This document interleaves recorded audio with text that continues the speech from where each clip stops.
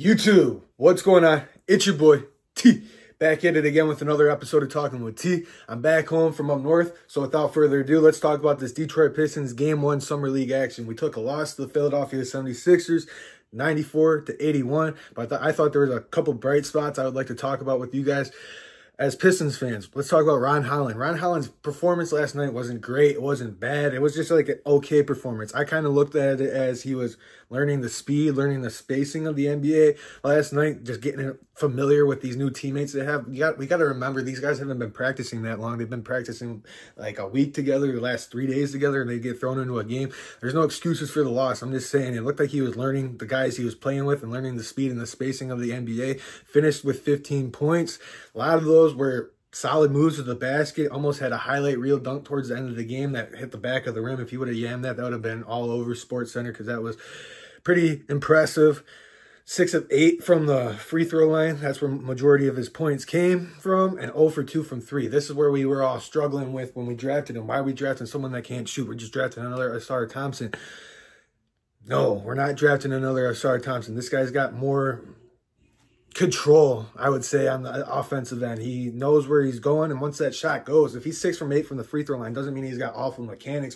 Ausar Thompson can barely hit a free throw. Ron Holland can hit free throws, so the shot's there. He's just got to develop it more, and we'll see what's going on. The biggest surprise for me last night was Bobi Klintman, and he signed his contract yesterday, so he's inked in for the next four years. But when we drafted him, it looked like he was going to be more more of a project. He looked like a project out there, but he looked like a really good project. He looks like he's got the tools and potential to be a very good three and D player. Like he he looks solid out there. 13, 5 and 5. That's a solid stat line for your first NBA experience. I didn't know he went to Wake Forest, but shot pretty well from three last night. Three from seven from deep. And that one Marcus Sasser dished out to him and he just shot it in confidence and drained it.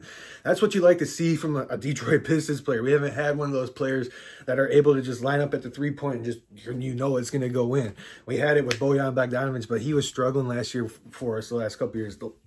A little disappointment for me was Marcus Sasser's stat line. One point, the one three got taken away from him. 0 for 6 from field goal, 0 for 4 from three point, and little to no assist. And he played 30 minutes. I need I need to see more from Marcus Sasser for him to be my backup point guard. I got to see more from Marcus Sasser. That's all I'm going to say. But Clinton really surprised me. Ron Holland had a really good performance. I thought this was an okay performance. I got to see more from Ron Holland in the next one. I got to, I want to see if Clinton can put back-to-back performances like this together. If he can do that, man, I think we might have gotten a steal in the second round. but let's not get ahead of ourselves. That was the first game of the Summer League, and I need to see more from Marcus Sasser. Estrada looks pretty good, but these are all G League guys. I'm more concerned about with Ron Holland and Klintman to see how these two look good. And I 15, 7, and 2, and 13, 5, and 5 from your two rookies in the Summer League game. It ain't too bad. Let me know what you guys think about their performance down below in the comment section. Like the video, subscribe to the channel, and please keep helping this channel grow. I really appreciate you guys for tuning in, and I'll see you guys soon. Peace.